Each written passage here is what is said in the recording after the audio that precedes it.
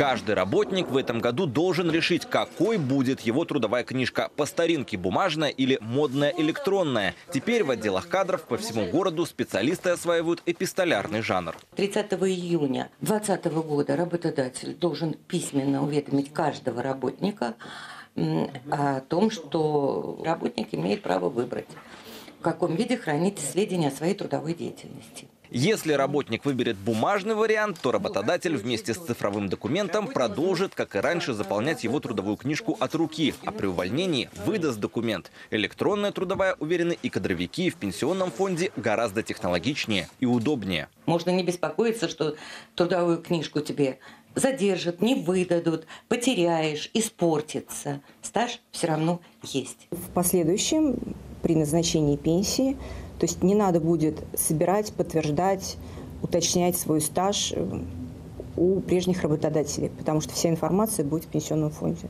И после 2020 года работники смогут перейти на электронную трудовую, говорят специалисты. Достаточно письменного заявления. Предоставлять сведения о своем стаже в банк или визовый центр с электронной трудовой книжкой тоже будет легче. По закону любой работник сможет узнать сведения о своем стаже у работодателя по последнему месту работы в МФЦ, а также в интернете на портале госуслуг или если придет в отделение Пенсионного фонда России.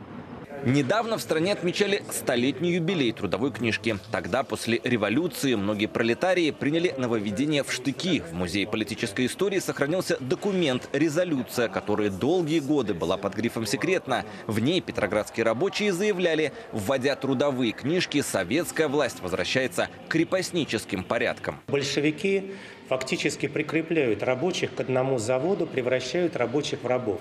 И рабочие не имеют права по собственной воле поменять завод, поменять предприятие и, в общем, вообще уйти из города в деревню для того, чтобы там добыть продовольствие. Одно время по трудовым книжкам получали талоны на продукты. Такие документы даже заменяли паспорта, но совсем недолго. В 20-е годы 20 века во время НЭПа трудовые книжки отменили, однако уже в 1939-м их ввели вновь. После Великой Отечественной войны в документах появились новые графы, например, о наградах. Взглянув мельком на трудовую, опытный кадровик мог мгновенно оценить благонадежность соискателя на вакантную должность. Документ как повесть о трудовой жизни рабочего человека.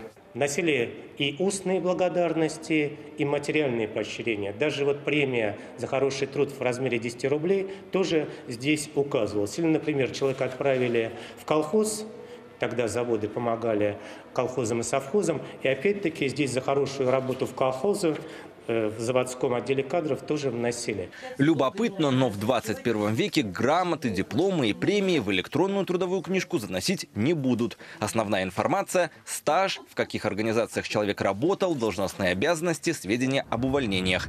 Орденоносцам волноваться не нужно, говорят в пенсионном фонде. Все положенные льготы сохранятся, даже если сведений о наградах в трудовой книжке нет. Сама запись трудовой книжки не является основанием для предоставления льготы по этой награде. То есть важна сама награда и документы, подтверждающие эту награду. Какая книжка в итоге победит в нашем регионе? Технологичная, цифровая или вековая бумажная решится в конце 2020 года. Свой выбор должны сделать более 6 миллионов работников из Петербурга и Ленинградской области. Владимир Орехов, Александр Лагунин, Михаил Юдин и Роман Великосельский. Вести. Петербург.